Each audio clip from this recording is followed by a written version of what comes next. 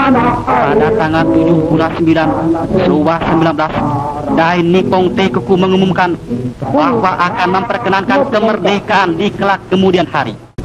Paduka Tuan Yamamoto Samubuco mengumumkan kepada para wartawan kenyataan kemerdekaan yang mengandung arti besar dalam sejarah Indonesia.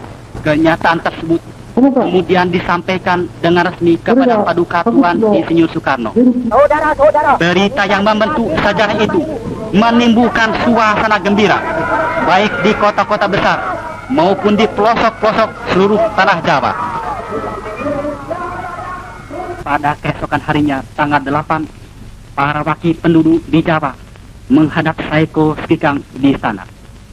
Paduka Tuan Insinyur Soekarno sebagai wakil seluruh penduduk di Jawa menyatakan terima kasih dan keteguhan hati segenap bangsa Indonesia yang menggelora.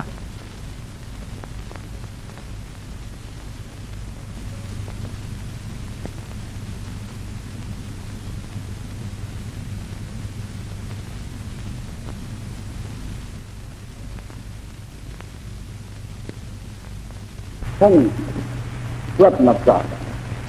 第85回臨時議会においておいそ内閣総理大臣より焼きインドは将来独立進むべきもの以外に宣明せられたり本職リーグの大台無限に強く感激しここにやは派遣員将兵の現場優先と臨床職員の教育に追悼をさせるとともに、国民の決断を達成する、だは五千万住民の勇気を思い、中心より正式の要請をする次第なり、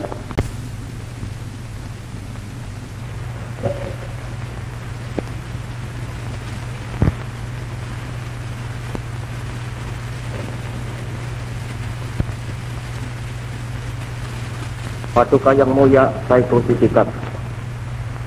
Dengan hati yang terharu, kami menerima pengumuman bahwa Kerajaan Dainipon memperkenankan kemerdekaan segenap bangsa Indonesia di kemudian hari. Hati dan jiwa kami meluaplah dengan rasa terima kasih yang sekhidmat-khidmatnya kepada Yang Maha Mulia Ten Noheka yang bermurah hati memperkenankan terkabulnya cita-cita kami yang telah berpuluh-puluh tahun itu. Dengan hormat, saya atas nama segenap rakyat Indonesia meminta kepada Paduka Tuan supaya Paduka Tuan mempersembahkan terima kasih kami ke bawah duli yang maha mulia Tenoheka. Paduka Tuan, di dalam pengumuman kerajaan Dainepon itu tidak dinyatakan saatnya Indonesia diperkenankan merdeka kecuali dengan kata-kata di kemudian hari. Tetapi kami pun menyerahkan saat kemerdekaan Indonesia itu kepada Yang Maha Mulia. Yang Maha Mulia lah terlebih bijaksana. Yang Maha Mulia lah terlebih mengetahui. Kami hanya insaf bahwa lekas atau lambatnya saat itu datang adalah tergantung daripada besar atau kecilnya usaha kami untuk mendapat kecakapan-kecakapan yang perlu buat kemerdekaan dan daripada besar atau kecilnya usaha kami untuk membantu lekas tercapainya kemenangan akhir peperangan Asia Timur Raya. Heka, pantai, pantai,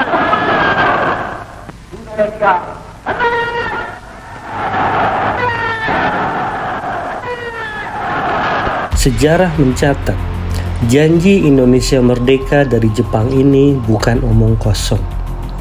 Ketika Jepang makin terdesak setelah Hiroshima dan Nagasaki dibom oleh sekutu, serta rentetan kekalahan di sejumlah front Perang Asia Timur Raya, Soekarno, Hatta, dan Rajiman diterbangkan ke Dalat, Vietnam.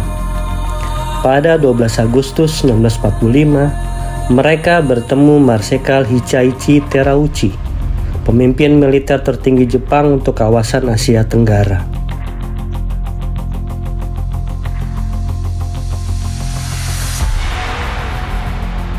Marsikal Terauchi mengakui bahwa pihaknya memang sedang di ujung tanduk Besar kemungkinan Jepang tak lama lagi bakal takluk. Maka, Terauchi menyatakan Indonesia harus segera bersiap-siap merdeka. Kapan pun bangsa Indonesia siap, kemerdekaan boleh dinyatakan. Janji Terauchi. Meskipun demikian, menimbang perlu waktu untuk melakukan berbagai persiapan sebelum proklamasi kemerdekaan diwujudkan. Pemerintah Jepang menyarankan agar kemerdekaan Indonesia dinyatakan setidaknya tanggal 24 Agustus 1945. Soekarno sangat gembira, terlebih hatta, karena janji kemerdekaan itu disampaikan bertepatan dengan hari ulang tahunnya, 12 Agustus.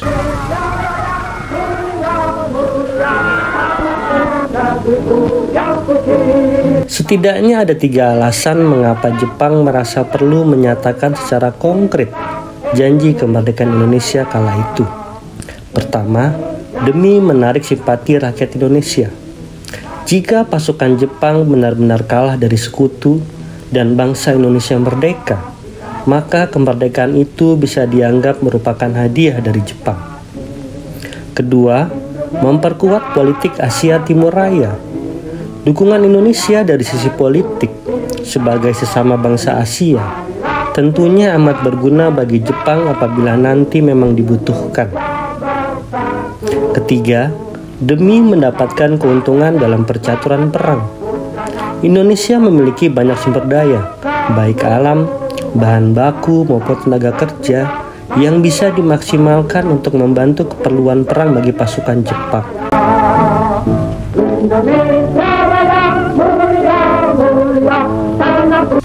Naasnya, Jepang menyerah tanpa syarat pada sekutu pada tanggal 14 Agustus 1945 atau pada 15 Agustus 1945 menurut waktu Jepang.